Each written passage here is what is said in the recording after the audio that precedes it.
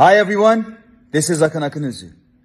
You've only seen me on screen, but now I'm giving you a chance to win a super prize and meet me in person. Let's meet in Istanbul. Good luck and hope to see you soon.